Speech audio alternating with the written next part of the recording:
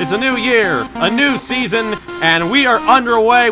Really dominating fashion here today is going to win. Two, three, four for the final time. Win number one on the season, only just barely. He is going to win here at the Nazareth Speedway. Wins the Emerson Electric 100K. Gonna be Igor Barreto's gonna eke it out. Cup Series champion is Shane Lake in the number 15. Welcome to the NOF SRL.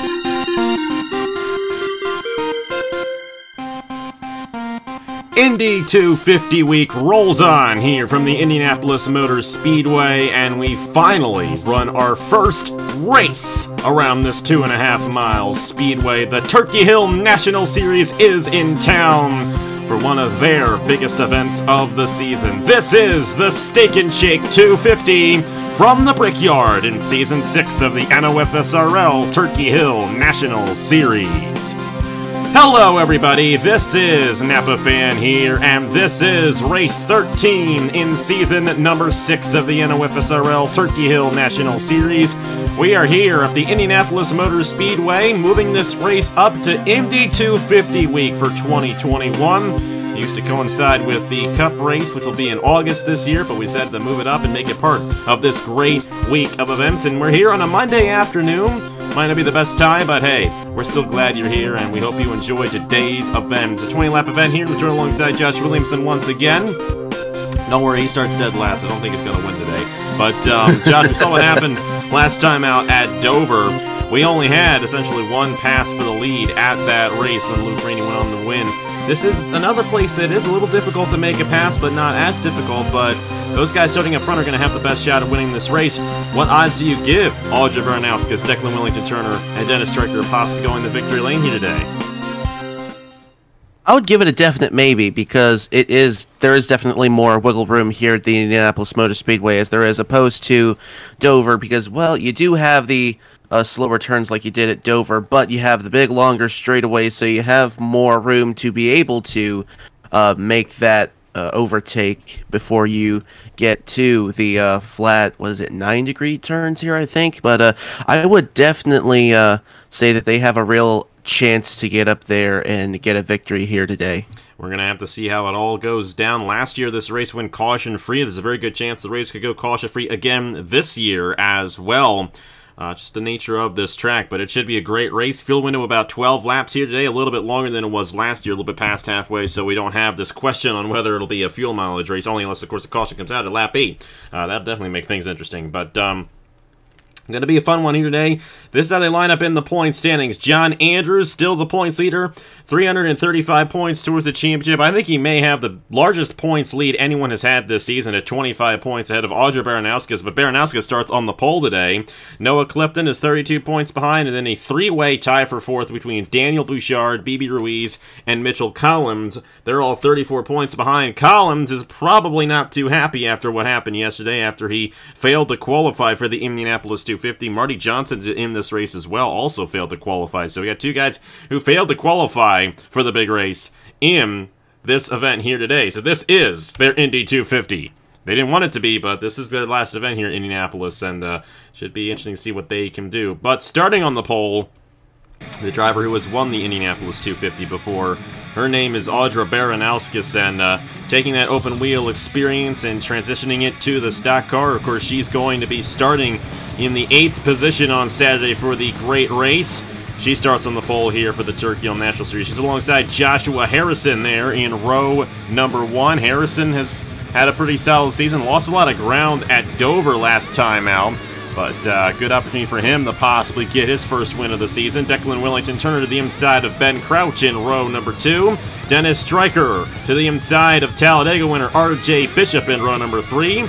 Justin Zeidel and Aiden McCrow make up row four. Then Dustin Davis, who was part of the Fast Nine yesterday in the Indianapolis 250 qualifying session, to the inside of Ian Siegel there in row number five. We have a past IndyCar champion in this race as well, Justin Zeidel, looking for his second win of the season here in the Turkey Hill National Series. There you are, the back of the field. I'll see if we got any other guys who are uh, going to be. Braden Perez going to be in that Indianapolis 50. Noah Clifton's going to be in that race. Um, Now there's a couple other guys. And Roberto Crown Jr. is another one of those guys. Will Parrish going to be in that race? Mitchell Collins failed to qualify. Unfortunately, he's not going to get that opportunity. Uh, Trey Smith going to be in the race. Landon Smith Jr.'s brother. A lot of guys in this race. Uh, Christian Vargas there in the uh, number 62 was also going to be in the Indianapolis 250 as well. So uh, definitely going to be interesting to see what those guys who have already been on this racetrack in the open wheel machines can do. Well, Josh, who do you think's going to win here today in the Steak and Shake 250 at Indianapolis? Well, I'm going to be honest with you. I'm going to go with the ninth place starter there, Dustin Davis. For Airgel Motorsports, I believe he's in a good position to work his way up to the front and maybe, barring a bad pit stop, he could be up there to challenge for a race victory here at Indianapolis. He very well could. He's starting in the same position he's going to be starting in on Saturday in the Indy 250. We'll have to see if he can translate the experience here to Saturday and maybe vice versa. Well, the pace car is down. We're underway in the Turkey National Series at the Brickyard Green Flag in the Steak and Shake 250.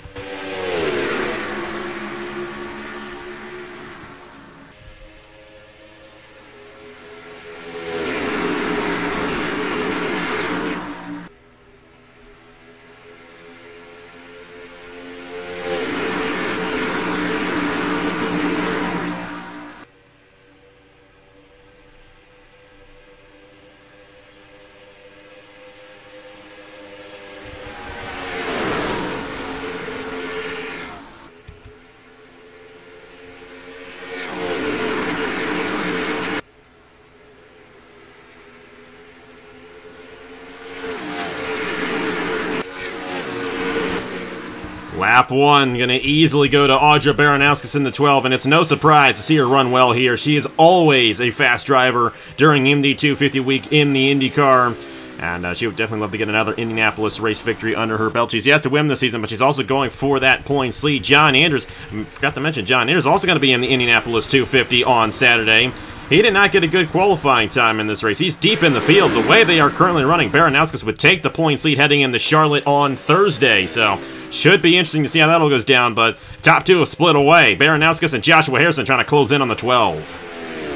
And Harrison looked like he was going to get a good dive there, headed off into turn three. He still might have an opportunity to get around that 12. Maybe not this lap, but as we see the the 10 of Dennis Stryker going after Ben Crouch there. Crouch stretching away out of turn number four, but now uh, Stryker might be falling into the clutches of car number eight there, Justin Zeidel.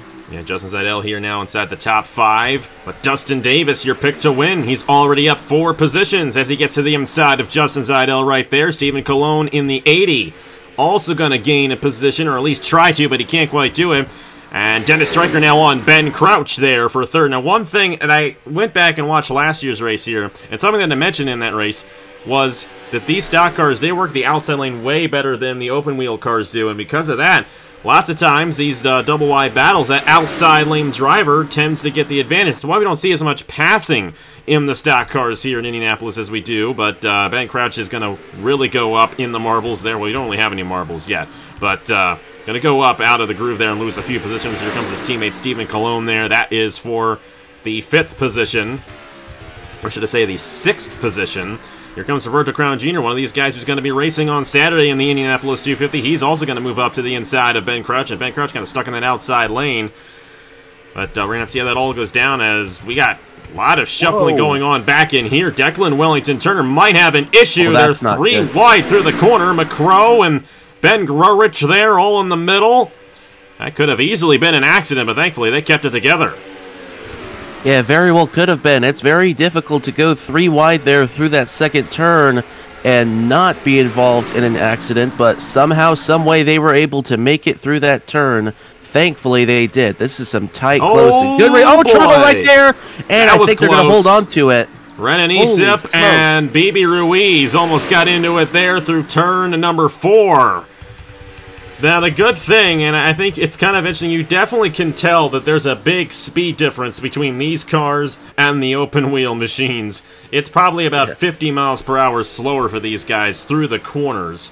Mm, roughly. Maybe not that slow. Eh, it's pretty close, though.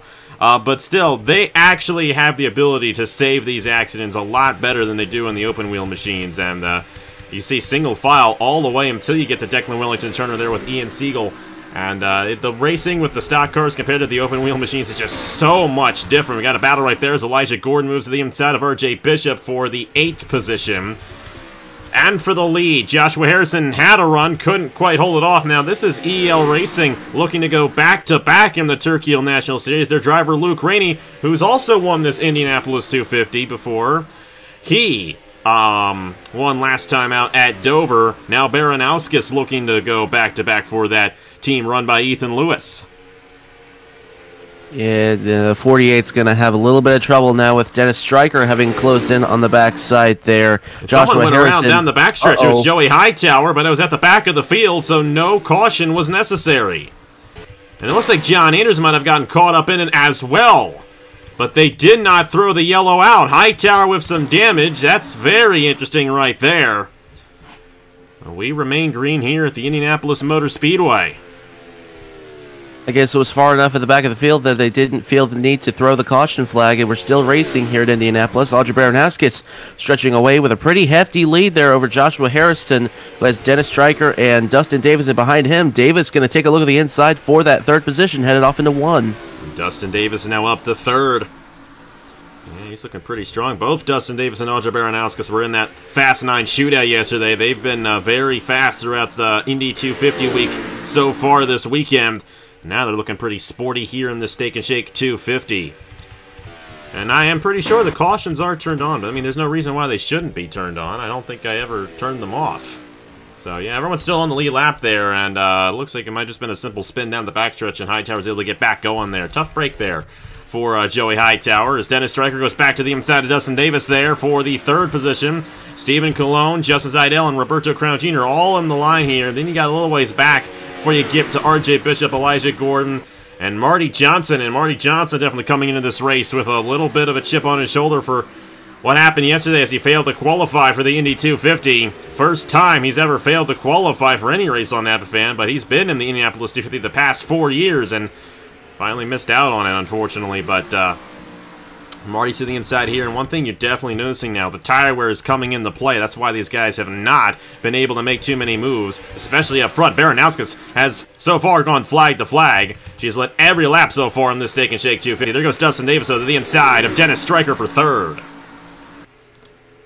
And it looks like he might actually get the position this time. I don't think I think Dustin Davis tried making the move before, but uh, Stryker got right back around him, and now Dustin's going to uh, handedly take that third place away. As Stephen Cologne in the 80 might even get around the 10 of Stryker as well. Side by side there for fourth as they head into turn number one. We're about three laps away from the cycle of pit stops, and that's where things are really going to get interesting because what kind of strategy do you take? Do you undercut or do you overcut in Joshua Harrison? He might not need to strategize too much. He's got to run to the inside of Baranowskis for the race lead. I'm going to say this right now, but if Harrison gets the lead here, this would almost be a repeat of Dover because Luke Rainey took the lead away from Ben Grorich right before the pit cycles happened. And as you said, we're uh, well coming around this time. We're probably uh, two, one, two, three laps away from the pit cycles happening. So if Harrison gets this lead, What's the chances that uh, he might uh, hold on for the victory of this race? I know it's e a little easier to pass here than it is at Dover, so maybe I'm just th thinking too much into it there. But uh, we'll see what happens. Still holding that inside. But Baranowskis holding tough on the outside lane in this number 12 machine, but she might finally lose it here, and Dustin Davis is right here now. That battle brought all these guys in. Now Davis looking to take second away from Baranowskis, and he's going to be able to do it right there. So now Joshua Harrison has taken the race lead away here in Indianapolis. Next time by, will be halfway through the Steak and Shake 250. And Dustin Davis now up to second. Baranowskis kind of stuck in this outside lane because all those guys jammed up right behind her.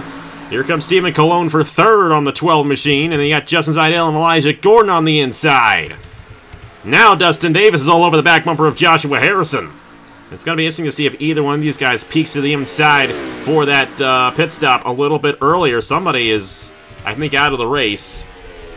It's the 24 machine of Braden Perez. I saw a pit sign down, down the backstretch, and something happened to the 24 machine that we missed. So tough break for Harrison's teammate, Braden Perez, right there.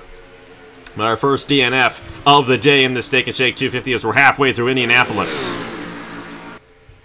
The most unluckiest guy I've ever seen in our competition, Braden Perez. Unfortunately, with another thing going wrong there, that is just. That's the epitome of how his 2021 has gone, I think. Just terrible break for him. So now you got a four-car breakaway with Harrison, Davis, Cologne, and Stryker. You may see someone peek in here. Nope, not yet. Top four all kind of stay out here. Baranowskis fell all the way back to now fifth. Sorry, sixth. She uh, got passed there by Justin Zeidel. So she lost two more positions on that lap there. Elijah Gordon now running in the seventh position. Marty Johnson. Watch out for Marty. He's won here before in the Cup Series. As for the lead, Dustin Davis has taken it away. But Harrison might cross over here as Davis went a little wide through turn two. Some good racing here in Indianapolis in the Turkey Hill National Series, and Harrison might not let this 63 lead a lap. He's going to go back to the inside. It's going to be interesting, too, if Harrison dives down the pit road here. Well, looks like Davis is going to get the jump on him headed out of turn three, but we're on lap 12 now. Will we see anybody peek down to the inside to get pit stops? Yes, we will. Looks like some guys slowing up behind. But Dustin Davis is going to stay out. Harrison leads them down with Cologne and Stryker and Baranowskis. We'll have to see. That one extra lap could make a difference. The tire wear does come into effect here, and you're going to be going a little bit faster on fresh tires than you are on worn tires. So it's not like it is at Darlington or Dover, the past two racetracks we've gone to so far this season. But uh, that one lap could still make a difference for these guys here as they're down for their cycle of pit stops. Joshua Harrison, imagine it's going to be a four-tire stop for all these guys here at the Indianapolis Motor Speedway. Dustin Davis holds on to the race lead right now in the number 63. As we'll follow with Joshua Harrison and see if he can beat these guys off. Yeah, it looks like it's going to be a four-tire stop and fuel for everybody as it was expected here just past halfway at the Indianapolis Motor Speedway. And Cologne's coming out of his stall, Elijah Gordon. And here comes the rest of them. Dustin Davis now going to lead Marty Johnson. We got around Justin Zeidel, Roberto Crown Jr., and Landon Smith Jr. down the pit lane. And Declan Wellington Turner, I remember he started third for this race. He fell way, way back in this one. Uh, not a good day for that 66 machine. But Harrison's got some contact. Uh-oh. Ethan Farley got in the Josh Williamson, the driver, there on the back of the field. Yeah, honestly, if you were doing better, I don't think I'd let you uh, commentate. But I'm, I'm telling Yeah, you, at honestly. 75, we've had yeah, we've had a tough season. That's my team, so we've we've definitely had a rough season. Look at this, Harrison has pulled ahead there of Stephen Cologne. The big question is, will he be able to beat Dustin Davis? Number 63 coming off the pit lane right here. Remember, Joey Hightower was involved in that accident. He's falling back a little bit. Marty Johnson's going to gain a lot of time right here. Whoa. And uh, now we're going to see where this number 48 is on the racetrack. He's just crossing the line right now. Ooh, that's going to be close. Just ahead of him right there is the 63 of Dustin Davis. They do not merge until the exit of turn two, however. Here comes Joshua Harrison in the 48. We're going to have to see. He will get around Dustin Davis, but it's going to be close. Davis will still have a shot at this race victory, no doubt about it, especially if Joey Hightower comes into play. And uh, if you remember Armory Digital a couple months ago, uh, we all know that he can definitely come into play for a race victory in one of these Turkey National Series races. He's had a good season, though.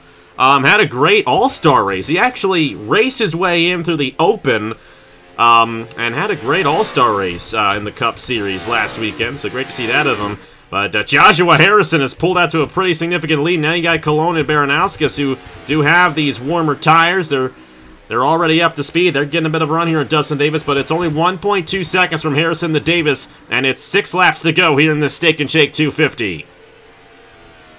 Yeah, I would be surprised if Davis and the gang did not chase down uh, Joshua Harrison there in the 48. They've got ample time, I would say, here in the final five and a half laps to get up there, especially with this sort of draft they've got going here, this sort of three car tandem. Three cars is faster than one, even at a track like Indianapolis. You'd be surprised how much that comes into play. Is Baranowskis going to look to the inside of Cologne and easily take that third position away from the 80? Yeah, Baranowskis got stuck in that outside lane before that cycle began, and she lost a lot of ground. She led the first nine laps of this race, but We're gonna have to see if she can close in. I think they are closing in on Harrison here. Five laps to go in the Steak and Shake 250.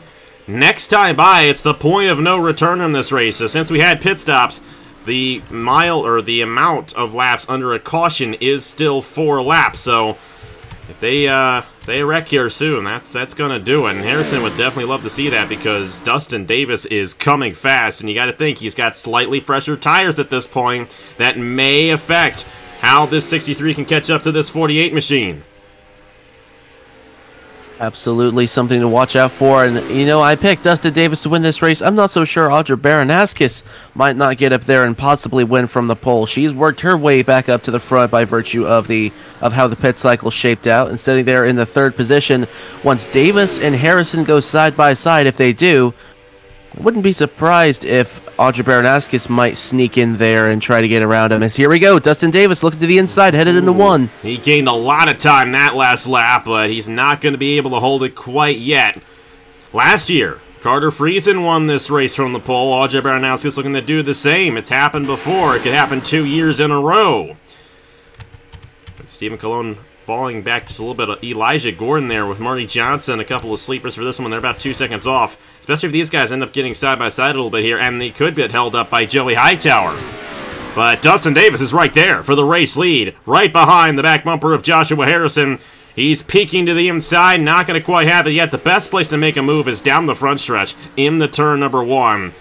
They're going to have to get around Joey Hightower, though, and I'm wondering if they're going to try to get around him here, and Davis is probably going to let Harrison do the work for him. He can get that 25 in the outside lane, which he will. That will open the door for Davis and Baranowskis probably to get around this 25 machine. And Harrison able to pull away just a little bit there. As it's two and a half laps to go. Here at Indianapolis, Baranowskis going to get held up there by Joey Hightower. And that's going to hold her back a little bit, and it may now be, be between Davis and Harrison for this race victory. Yeah, I think Audra Baranowskis and Stephen Cologne's races are over, at least as far as battling for the win goes, unless they can get around Joey Hightower there and maybe close back in on these guys if they start battling. But we're coming to two laps to go. They're running out of time if they want to have a shot here at this victory at the Indianapolis Motor Speedway. Oh, look at that run Dustin Davis got. Cologne's going for... Oh, he's actually getting around Hightower. My apologies there. But Davis is right there now. Two laps to go at Indianapolis in the Steak and Shake 250. And to the inside for the race lead. Dustin Davis gonna try to take it away from Joshua Harrison. That's exactly what Baranowskis wants to see because these guys going side by side is gonna slow him down. Davis went a little bit wide there through the corner again, but Baranowskis might get a run on Harrison for second. Bought back in line for the draft for just a second. We'll see if she can make the move, headed off into three. Doesn't look like it. Oh, yes, she will. Here she comes to the inside for the second position. And that's exactly what Dustin Davis, you know, that's what he wants to see. Absolutely. That 63, I think he's the fastest car on the track.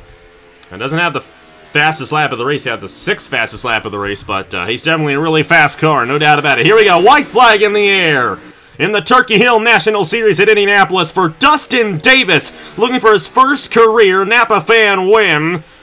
Going to be starting ninth on Saturday in the Indianapolis 250, and I'm sure he'd love to get this race victory here today. That'll give him a massive boost of confidence heading into that one, but it's not over yet. Joshua Harrison starting to reel him back in just a little bit. Baranowskis lost a lot of ground off the corner right there. But I just don't know if Harrison's going to be close enough for Davis. Yeah, I think it's I think it's a little too big of a gap there to uh, get Harrison back up to the backside of Dustin Davis. I believe when we come around turn three and four here, he's going to close in little more, little more, little more, but it's going to be too little, too late for Harrison Or coming off the it? final corner. Or Or will it? will oh it? boy! He, has got to run. I don't know if he's going to have enough time. He's going to have to peek to the inside here, but he's going to have a shot. He's not going to do it. Dustin Davis, first career Napa fan win. He wins the Steak and Shake 250 at Indianapolis. And uh, this guy next to me is now two for two on predictions. you predict Luke Rainey last time out at Dover. Now you got Dustin Davis, the winner of the Steak and Shake 250, his first career Napa fan win. And Hairgel Motorsports finally gets their first win of the season as well. Been a while for these guys. It's been a tough season for this team. But Dustin Davis pulls it off here at the Brickyard in one of the biggest races of the season for the Turkey Hill National Series. Wow. what a race that was, man. A great drive out of Dustin Davis right there, and I think he's finally broken that stigma that he had from uh, last year's Body Armor Cup Series Daytona 500. he, he definitely, that was a great drive from top to bottom, and Davis earned that race victory, no doubt about it. It was a close finish, though. Harrison had a shot, but just not enough to get to the inside of him right there. Take a look at the rest of the results right there. And Braden Perez with the gearbox issue. Tough break for him there in that 24 machine. A good thing for Perez, he is in the Indianapolis 250. Not everyone can say that, especially Collins and uh, Marty Johnson. But uh, take a look at the rest of the results. Keep it up there just a little bit longer for you guys to check it out. We got a lot of guys finished within a second of each other right back in there. Definitely a lot going on in the back of the field that we didn't catch. That's the thing about these short races. We don't have enough time to focus on the back of the field. And... Uh, not much going on uh, up front, but uh, there was actually a lot going on up front. What am I saying? But final thoughts on this one, Josh. And yeah, Dustin Davis will be in that Indianapolis 250. Do you think that this win is going to help him out? Did he did he learn anything? It's a completely different car, but did he learn anything for the Indy 250 coming up on Saturday? Well, he definitely learned how to drive the track a little better, I think, but he's obviously going to be going much faster and have a lot more grip to work with in those Indy cars when it comes to be Indianapolis 250 time. But uh, definitely, he knows how to get up front and uh, win a race here at Indianapolis now. Of course, this was 20 laps as opposed to 80. If he could do this for 80 laps, who knows? He might have a shot at taking the Indianapolis 250. But excellent drive for Dustin Davis. Looking to, looking forward to seeing what he can do in the Indy cars. Mm-hmm. It's going to be interesting to see what it all what all unfolds, I should say, this coming weekend here. We're going to take tomorrow off. Uh, we'll be back with some action uh, Wednesday night with the Coca-Cola 600 qualifying session. Um, and then Thursday, the Turkey National Series is back from Charlotte. It's only two days, or well, three days from now, I should say. Um, we're going to be back in action for the CN Rail 300 at the Charlotte Motor Speedway. That should be a great race coming up here. Uh, just a couple of days on AG Racing. Thank you guys so much for watching. Congratulations to Dustin Davis, your race winner here in the Turkey National Series at Indianapolis. And we will see you guys just a couple of days here for the Turkey Hill National Series. The next race on AG Racing is another Turkey Hill National Series race. See you guys on Thursday. And of course, the Indianapolis 250 this Saturday at noon Eastern Time right here on AG Racing. On behalf of Josh Williamson, thank you guys so much for watching. Here are the points for the Turkey Hill National Series after 13 races, and I will see you guys later.